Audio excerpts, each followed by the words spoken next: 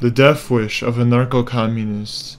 Now that the new left has abandoned its earlier loose, flexible, non-ideological stance, two ideologies have been adopted as guiding theoretical positions by new leftists. Marxism-Stalinism and anarcho-communism. Marxism-Stalinism has unfortunately conquered SDS.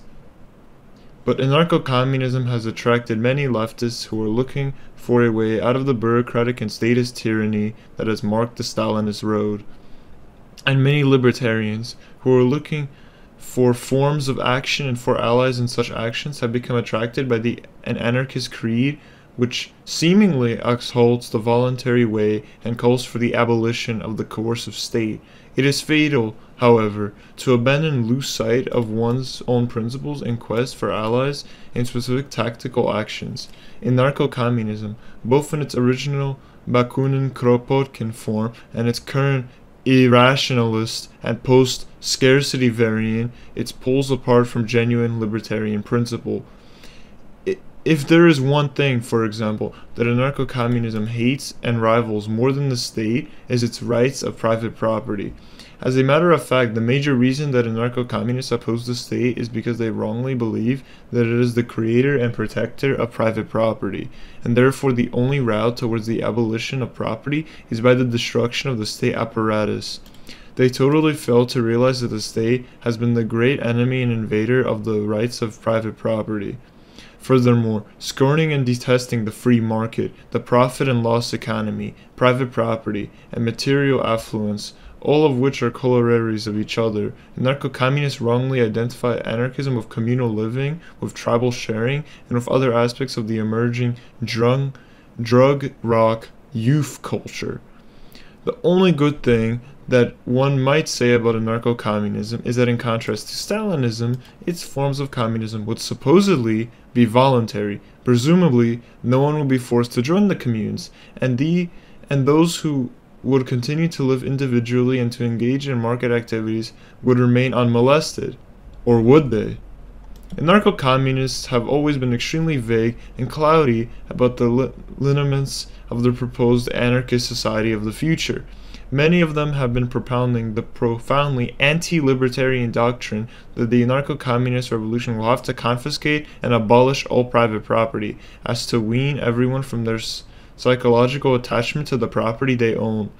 Furthermore, it is hard to forget the fact that when Spanish anarchists, anarcho-communists of the Bakunin Kropotkin type, took over large sections of Spain during the Civil War of the 1930s. They confiscated and destroyed all money in their area and proclaimedly de decreed the death penalty for the use of money. None of this can give one can give one confidence in the good voluntarist intentions of anarcho-communism. On all other grounds, anarcho-communism ranges from mischievous to absurd. Philosophically, this creed is an all-out assault on individuality and on reason, the individual's desire for private property, his drive to better himself, to specialize, to accumulate profits and income, are reveled by all branches of communism. Instead, everyone is supposed to live in communes, sharing all his meager possessions with his fellows, and each being careful not to advance beyond his communal brothers. At the root of all forms of communism, compulsory or voluntary, lies a profound of hatred of individual excellence, a denial of nature or intellectual superiority of some men over others, and a desire to tear down every individual to the level of a communal ant-heap. In the name of a phony humanism, an irrational and profoundly anti-human egalitarianism is to rob every individual of a specific and precious humanity. Furthermore, anarcho-communism scorns reason, and, it, and its corollaries, long-range purpose, forethought, hard work, and individual achievement. Instead, it exalts irrational feelings, whim, and caprice, all this in the name of freedom. The freedom of anarcho-communist has nothing to do with the genuine libertarian absence of interpersonal invasion or, mol or molestation it is instead a freedom that means enslavement to unreason, to un unexamined whim, and to childish caprice. Socially and philosophically, anarcho-communism is a misfortune. Economically, anarcho-communism is an absurdity. The anarcho-communist seeks to abolish money, prices, and employment, and proposes to conduct a modern economy purely by the automatic registry of needs in some central data bank. No one has the slightest understanding of economics can trifle with this theory for a single second. Fifty years ago, Ludwig von Mises exposed the total inalienability inability of a planned, moneyless economy to operate above the most primitive level, for he showed that market prices are indispensable for the rational allocation of all of our scarce resources labor, land, and capital goods to the fields and areas where they are the most desired by consumers and where they could operate with the greatest efficiency. The socialists conceded the correctness of Mises' challenge and set about in vain to find a way to have a rational market price system within the context of a socialist planned economy.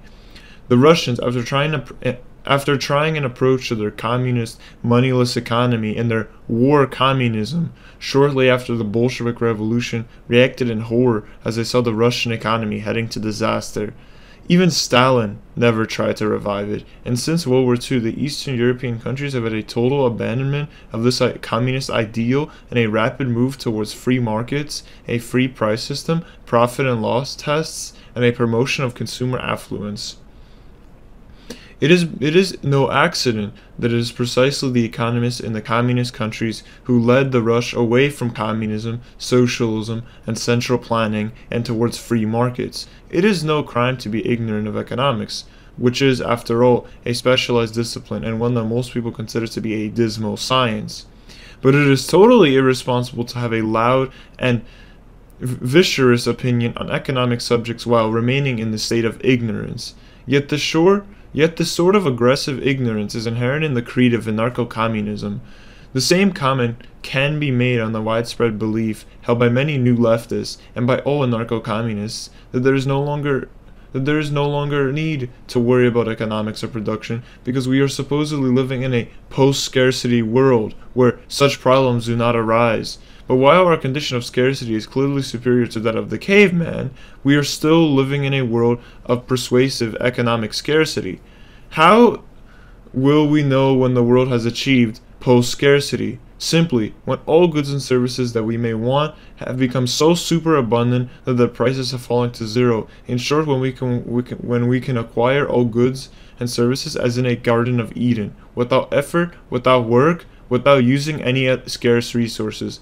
The anti-rational spirit of anarcho-communism has a bit, was expressed by Norman O. Brown, one of the girls of the new counterculture. The great economist von Mises tried to refute socialism by demonstrating that, in abolishing exchange, socialism made economic calculation, and hence economic rationality, impossible. But if von Mises is right, then what he discovered is not a refutation but a psychoanalytical justification of socialism. It is one of the sad ironies of contemporary intellectual life that the reply of socialist economics to von Mises' argument was to was to attempt to show that socialism was not incompatible with rational economic calculation. That is to say that it could retain the inhuman principle of econo- economizing. The fact that the abandonment of rationality in economics in behalf of freedom and whim will lead to the scraping of modern production and civilization and return us to barbarism does not phase our anarcho communists and other proponents of the new counterculture. But what they do not seem to realize is that the result of this return to primitivism will be starvation and death for nearly all of mankind and a grinding and a grinding subsisten- subsistence for the ones remaining. If they have their way, they will find that it is difficult indeed to be jolly and unrepressed while starving to death. All this brings us to the wisdom of the great Spanish philosopher Ortega y Gasset. In the disturbances caused by scarcity of food, the mob goes in search of bread, and the means it employs is to generally wreck the bakeries. This may serve as a symbol of the attitude adopted on a greater, more and more complicated scale by the masses of today towards civilization by which they are supported. Civilization is just not here. It is not self-supporting. It is artificial. If you want to make the use of the advantages of civilizations, but you are not prepared to concern yourself with, with the upholding of civilization, you are done.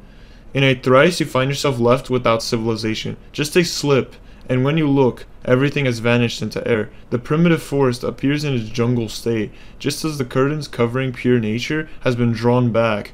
The jungle is always primitive and vice versa. Ever, everything primitive is mere jungle.